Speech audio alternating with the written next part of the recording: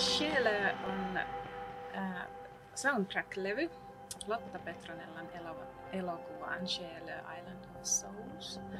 Ja se on julkaistu 2020. Ja siinä yhdistyy elokuvan äänimaisemat ää, sitten siihen itse soundtrack-musiikkiin.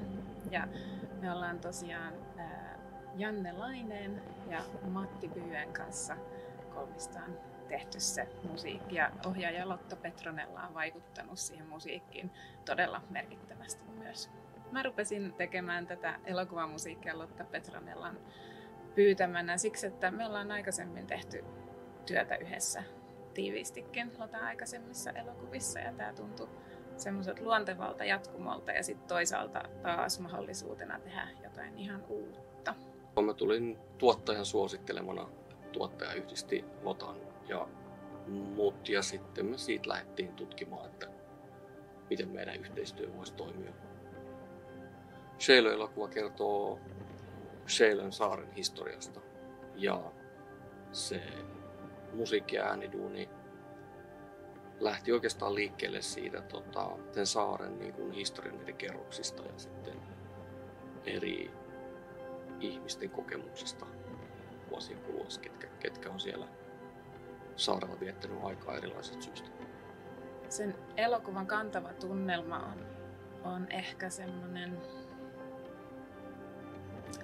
aika syväluotaavakin pohdiskelu siitä, että miten me kohdellaan ihmisiä ja elävää ympäristöä ja ylipäänsä miten me suhtaudutaan meitä ympäröivään maailmaan.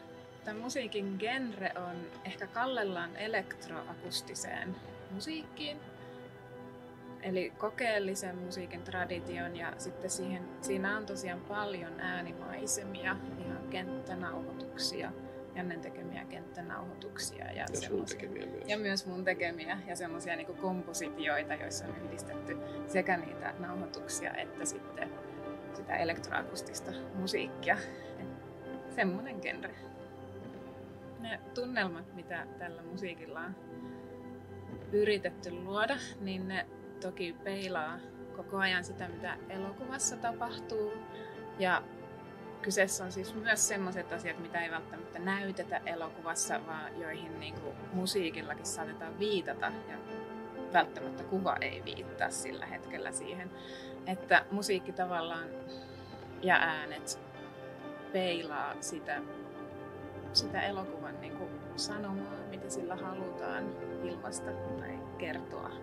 Kun mä kuulin ää, tästä työstöpalkintoehdokkuudesta, niin olin tosi ilahtunut, koska se on semmoinen niin kuin huomionosoitus, että joku on huomannut tämän työn ja ajatellut, että tämä on kiinnostavaa, niin se tuntuu tosi kivalta.